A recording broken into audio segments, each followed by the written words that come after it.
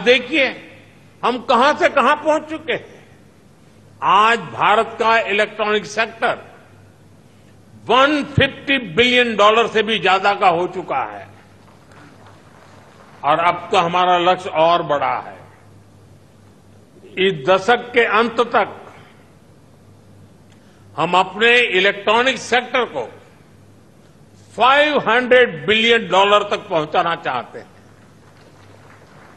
इससे भारत के युवाओं के लिए करीब 6 मिलियन, यानी 60 लाख जॉब क्रिएट होगी।